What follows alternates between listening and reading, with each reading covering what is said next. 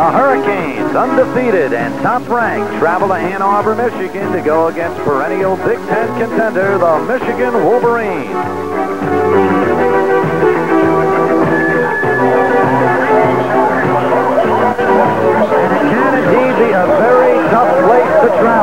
This is the beautiful University of Michigan Stadium in Ann Arbor, Michigan.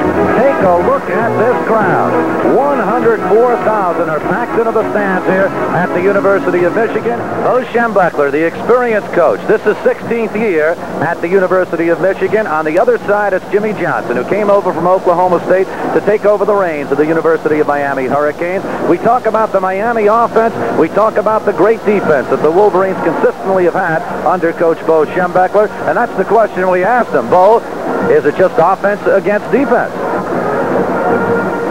No, I think, um, you know, offense, defense, kicking are all going to be a factor. I would say that uh, uh, their offense is the strength of their team. Um, we're not sure what's the strength of our team yet. Uh, we have some defensive veterans back, but we also have some pretty good offensive players. So we'll just have to wait and see there win every time they go out on the field. The Hurricanes 2-0. They've won 13 straight, the longest in the nation. And they're coming up against a tough University of Michigan Wolverine football team before nearly 105,000 people. We'll get back with more. The starting lineups coming up. The opening kickoff just moments away from the University of Michigan's Wolverine Stadium right after this. Michigan defense, but uh, they were blocked along the front line that time. Here's Bernie Kosar once again. And this one is complete out of the field. It's fumbled by Oliver. Let's see who has it. It's picked up by the University of Michigan. Darrell Oliver, a sophomore from Federal Point, Florida, on the fumble. And the Wolverines have the ball. Rodney Wild with a real hard hit. Watch number 80 come in and clobber Darrell Oliver. Once again, great pass protection, all the time in the world to throw. Very good coverage that time. This is just an excellent tackle. Uh, got his hand in there, hit the ball, and once again, this is where the pursuit on the defensive end comes into play. When there's a loose ball, there's four Michigan people there ready to recover. Very young players out there. Three first-year starters. Third down coming up now for Michigan. They're at midfield, third and seven. Harbaugh's first pass coming up. And on the sideline, Vince Bean has the first down for the Michigan Wolverines. Greg Jones in on the stop, first and 10 for the Michigan Wolverines. Well, Vince Bean has been the most consistent wide receiver Michigan's had over the over the last couple of years. Uh, let's take a look at this. Michigan, uh, they get great pass blocking, just a three-man rush. Three receivers, four receivers out on the pattern. Three were covered. Took his time as a confidence builder for a guy starting his first game. Nice pass along. 15, a four-year starter from Southfield, Michigan, who caught 29 passes last year. This time, the flip screen goes to Gerald White.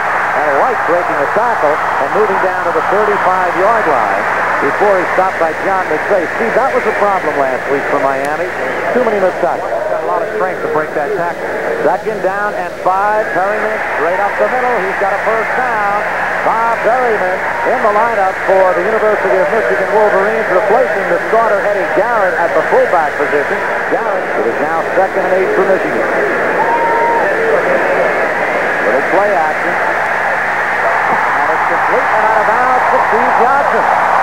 Steve Johnson, the flanker back from Youngstown, Ohio, a junior, only his fourth career reception, and it is Michigan a big first down. I'll tell you what, Harbaugh, it looks like he's accepted the challenge from Kosar. Once again, this is a long pass. He throws it from the right hash mark over to the sideline. They say he's got a strong arm. He combines the strength and touch on this one. That's an excellently run route and a, a nice timing pattern. Michigan taking advantage of the Miami turnover. They've got a first and 10 just outside the Hurricane 10-yard line. And off the left side goes Gerald White and he barrels forward to nearly the five-yard line. Defense has to dig in here right now as Michigan down at the Hurricane six-yard line. And Perry straight up the middle. He's got a touchdown.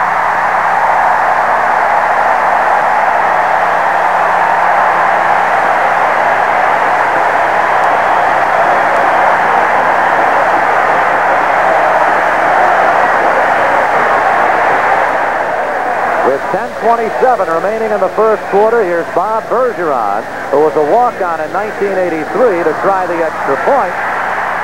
And it is no good. Bergeron is wide to the far side on the extra point, so the Hurricanes get a bit of a break right here. It is six to nothing on this touchdown run coming up by Bob Perryman. Well, credit Balourdos, the center, James and Tabachino. Quick trap up the middle. Uh, Perryman doesn't have the great breakaway speed, but he's quick, explodes off the ball. That's perfect blocking. He, he doesn't get touched till he hits the goal line. Touchdown for the Michigan Wolverines. 10:27 remaining in the first quarter. This is the Cat Sports Network. Highsmith and Oliver remain the running back. Highsmith number 37. Oliver nearest on your screen. He's audibling right now. Over the middle, intended for Highsmith. Instead, it is intercepted by Al Bishop, by Doug Mallory. And Mallory returns it up to the 23-yard line. Second turnover of the ball game. The Michigan Wolverines have it back on Doug Mallory's interception. One of the keys in this ball game, the defensive backfield knew that they would get their hands on a couple of balls. Uh, it's one thing to knock a pass down. There's another thing when you get the ball in your hands to intercept it. This time he was rushed, and I think it's one of the few times we've seen him make a bad decision. He was open uh, about five yards earlier around the 10-yard line. Waited just a little bit too long, threw it up for grabs, and uh, the interception. Doug Mallory, the younger brother, he's a sophomore of All-American Mike Mallory, of 6 to nothing. Third down coming up and 11 for the University of Miami. Looking for Shakespeare. He's going to be hit. He fumbles the ball away. He had Shakespeare on the far side of the field and took a hit from Tim Anderson, the left side linebacker, and the ball is recovered by the Michigan Wolverines. Third turnover of the ball game for Miami. But they've come up with the three big turnovers. And, and while they haven't never been known for a good pass rush, this time they come in on the blitz. But it's really been the defensive secondary that has really caused the problem. They've covered the receivers well on most occasions. And that time, once again, uh, with the fumble, the Michigan people right there ready to recover. And the fumble recovered by Dave Meredith, number 96. Jim Harbaugh, junior quarterback, his first start. And he hits Bean up near the 30-yard line. It'll be close to a first down. Bruce Fleming in on the stop. Vince Bean, the senior from Southfield, Michigan. Harbaugh looking to throw a sixth pass of the ball game, he completes it up to the 40-yard line. Got rid of that ball of Gerald White, and White with a good reception in a crowd. Winston Moss comes in on the stop. The lineup to take his place. First and 10 for Michigan. White. And White moves forward, spinning and chugging up over the 45 to the 47-yard line. Bruce Fleming. Third down and four now for Michigan. Their own 47. Harbaugh. He just threw that ball poorly. It looked like he didn't have a good grip on it as he let go, and uh, it just do dove down toward the ground. It goes incomplete. So Michigan will have to kick it away, but uh, second and 10 for the game. Bernie's in trouble. And Kevin Brooks has the sack back at the midfield stripe for a loss of 11 yards on the play. It'll make it third and 21 for Miami. Now with an unenviable third down and 21 back at midfield. Kosar getting good protection. The tight end incomplete and the ball is intercepted.